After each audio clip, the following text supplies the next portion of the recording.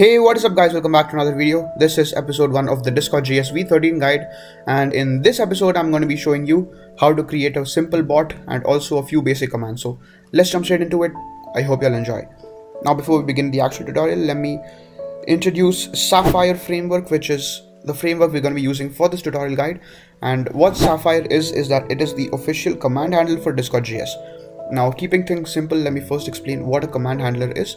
A command handler is a piece of code that allows you to handle the commands which are taken in by the bot. So if you've watched our previous tutorial guide, you would have remembered the command handler that we wrote ourselves where a bunch of if statements check for the command name that is provided by the message. And depending on the command name we execute a file in the folder of commands which has the code for that particular command.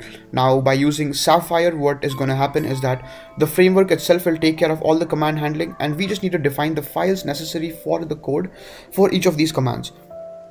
So starting off i'm going to be importing discord.js from the packages tab if you're using replit like me.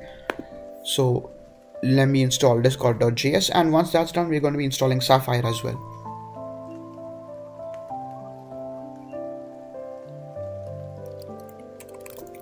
So type in sapphire add sapphire slash framework and this is the package we have to download.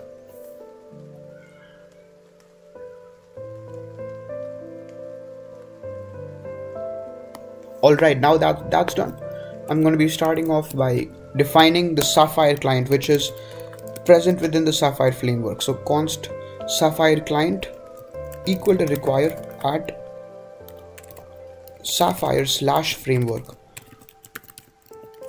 Now we're using the curly brackets notation to take in a variable which is defined within the package itself. So if we did something like Sapphire, what that would do is Sapphire would hold the entire package itself but when when we're doing this we just get the client which we require.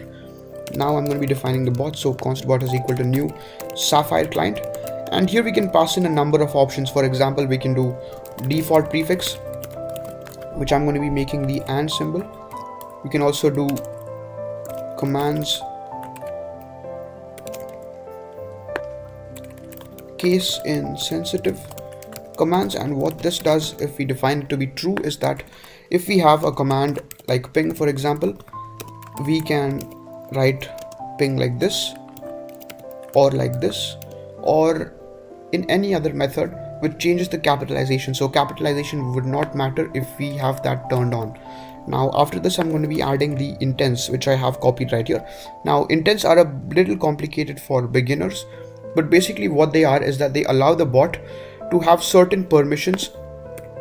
So right here we've defined guild members guild bans guild emojis. So the bot can view all of these uh, variables or all of these uh, all of this information from each server that it is in. And we can use this in order to manipulate a uh, lot of numbers and we can get into some complex commands and even simple commands later but for now just remember that intents are quite important and we will have to enable all of these. Now after this is done we need to also go to the discord developer website which if you don't know how to create a bot that you can watch my first video on this channel where i go into how to create a discord bot app. A bot app is basically the app we have right here which uh, takes in all the commands and gives us responses. Now once we do have the bot we need to tick all of the intents right here we have the presence intent the server members intent and, and the message content intent. We do not need to enable all of them except message content which is important for us as we're going to be using message commands as well. But apart from that uh, it's really up to you which ones you need. But for this tutorial i'm going to be enabling all of them. Now getting back to this we have our bot defined. I'm going to be creating a async function so this is async function main which takes in no parameters. And this is basically going to be used for running the bot so we will do async await bot.login and we need to pass in the token right here. Now i have my token in the secrets tab which is for the system environment variables. And you need to get the token from the discord developer website and place it in here. Now i'm going to be doing process.env.token which gets our token and we will be able to log in. Now i can do something like console.log ready so once we have the text ready displaying up here we can know that the bot will be ready and online. Now this is basically all we need for setting up the bot and running it but i'm going to be getting into a few basic commands to show you how the commands work. So first we start off by creating a commands folder and inside this we can create files for each of the commands. So for example ping.js for the ping command i'm going to be working on. So starting off we have to import command which is a class provided once again by the sapphire framework. So i will do const command equal to require as sapphire slash framework. Now command is a class predefined in this framework which allows us to define our own commands. It has all the basic options which are necessary for a command. And what I'm going to be doing is I'm going to be creating a new command called ping command which is going to be a class. And this will extend command. So basically everything that's present within command will also be present within ping command for now which we have defined. And after this we have to create a constructor to construct an object of this class. So what the sapphire framework would do is that if you do something like new ping command. And here we pass in a few parameters inside the um, constructor which is context and options this will be done once again by the sapphire framework. But for allowing this to be done we have to pass it into the constructor here as well. And now what I'm going to be doing with these parameters is that I'm going to be calling the super command uh, super function. And what this does is it uses the constructor of the original command class and then it applies both context and options in. Now you might have the question why we're doing this since we can just leave it empty and the constructor will be used from this anyways since ping command is exactly the same as command for now. But we're doing this because I'm going to be changing up the constructor a little bit. Let's start off by adding curly brackets and three dots to options. And what that does is that it takes in all the fields from the options object and puts it into another object. So if we have curly brackets and the spread uh, operator followed by options it's basically the same as having options itself. But I'm using the spread operator right here because I'm going to be adding a few new fields. We can add things like name, which is the name of the command. We can have a description, which will be later used in help commands and all that. And finally, we can also add aliases. So if I add alias p, we can also use and p for executing the ping command. So that's basically it for the constructor. There will be more options I will get into later, but for now this is enough. Next, we're going to be defining an async message run function which takes in a message argument and gives us a response. So this is not for slash commands this is for basic message commands.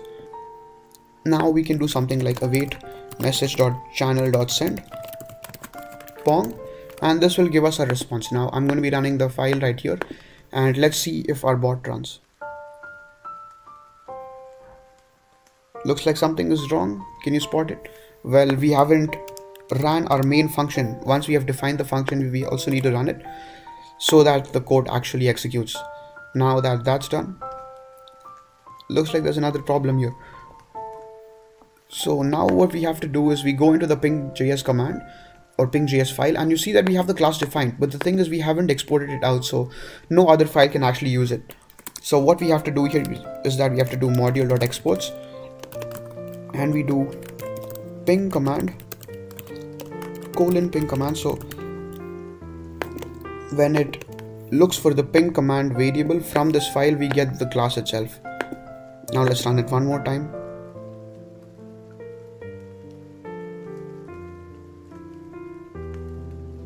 And there we go the bot is ready.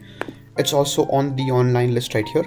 And now if I do and ping it says pong. So the command works we did not have to deal with any command handlers ourselves. It was all taken care of by sapphire.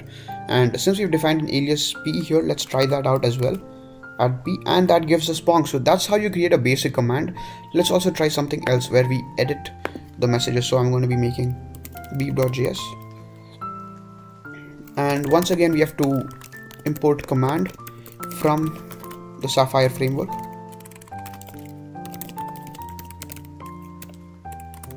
and then we define beep command extend it from the regular command then we do the constructor context and options and once again we have to call the super function and pass in our options.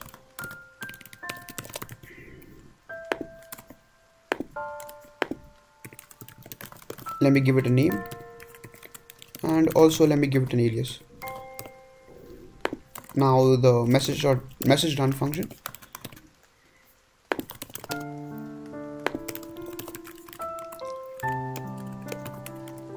And here I'm going to be defining const message equal to await message.channel.send beep and now we're going to be editing this message. So how you do that is you take the message object right here which is returned from the message or channel.send function. So once we send this message this message is stored in this variable right here. And we can use this variable to edit it. So we do await message.edit and we can change it to boop. And you will see the change reflected in the command. Once again we need to do module module.exports